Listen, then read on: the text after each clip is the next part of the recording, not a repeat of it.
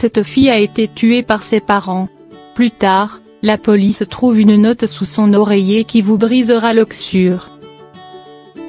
Les punitions d'ordre physique incluant tout traitement empreint de cruauté et d'humiliation envers les enfants sont absolument interdites par la loi française. Malheureusement, il existe aujourd'hui une bonne marge entre le stade d'interdiction et celui de punition. Il s'agit bel et bien d'une question cruciale dans nos sociétés à laquelle le mur du silence résiste toujours suite à la domination qu'exercent certains parents sur leurs enfants. Les violences parentales en France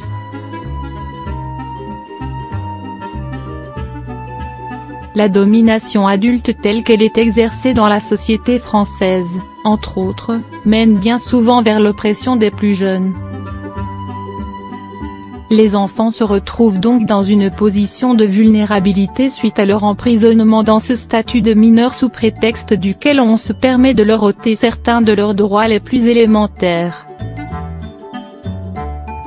Chaque année en France, les parents causent le décès de 400 à 700 mineurs, ce qui correspond à une moyenne d'un ou deux enfants tués par jour. Pour ce qui est des cas de blessures corporelles, elles concernent plusieurs dizaines de milliers de mineurs à travers le territoire français. Sachant que dans 93 à 96 cas d'abus, qu'ils soient physiques ou mentaux, les parents sont les coupables. Une fille qui aura droit aux pires familles.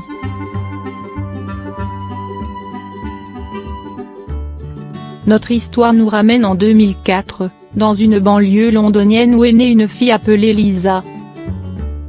Elle avait un frère nommé John, qui avait d'ailleurs un an de plus qu'elle. Peu de temps après, les deux enfants se retrouvent dans une famille d'accueil vu l'incapacité de leurs parents biologiques à prendre soin d'eux. Plusieurs années plus tard, il s'est révélé que la jeune fille se faisait molester par son père adoptif.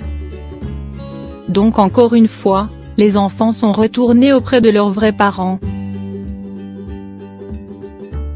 La mère biologique la punissait elle et son frère, bien que ce soit Lisa qui avait droit au pire traitement des deux. Avec le temps, Lisa n'était même plus capable de participer aux activités gymnastiques de son école à cause des échymoses et des cicatrices qu'elle avait sur son corps chétif. Les abus de la mère ne s'arrêtaient pas là car la pauvre Lisa recevait des coups de poing et des coups de pied, les parents utilisaient même des marteaux, des tuyaux en acier et même une machette. La mère employait également des mots comme salope monstre et putain pour parler de sa fille. Cette dernière devenait de plus en plus fébrile et mal nourrie, ce qui était plutôt inquiétant.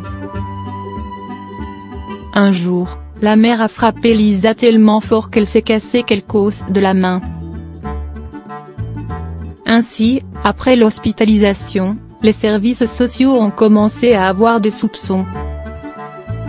Deux semaines après l'incident, ils ont décidé de leur rendre visite et ont vu que le garçon était en bonne santé.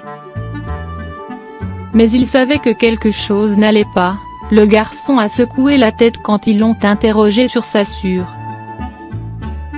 Ils ont donc quitté la maison pour ensuite y retourner accompagnés par les services de police. Des trouvailles inimaginables.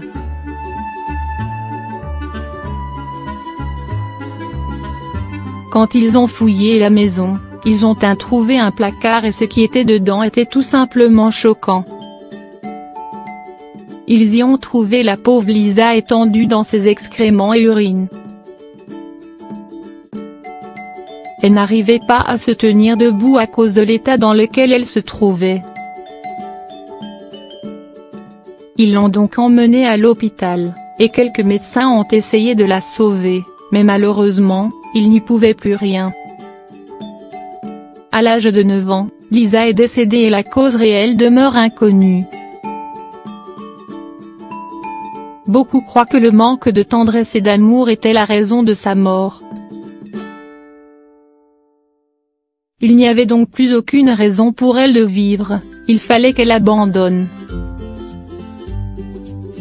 La police a de nouveau fouillé la maison afin de trouver des preuves, ils ont pu donc mettre la main sur un mot que la petite Lisa avait laissé sous son oreiller et qui disait Tout ce que j'ai toujours voulu c'était d'avoir mon père et ma mère à mes côtés et qu'ils m'aiment. Qu'est-ce que j'ai fait de mal je ne sais pas pourquoi je suis toujours en vie et j'ai essayé d'être gentil et poli et d'écouter ma mère mais ils m'ont toujours vu comme une source de déception et une telle fille ne mérite pas de vivre. Bien que les parents soient condamnés à de longues années de prison et que le petit John n'ait pu enfin trouver une famille convenable. Cette histoire à fendre l'oxure devrait tous nous secouer pour nous rappeler que le fait d'être parent n'a jamais voulu dire priver son enfant de sa vie et de son bonheur, mais plutôt d'être responsable de lui et de le protéger.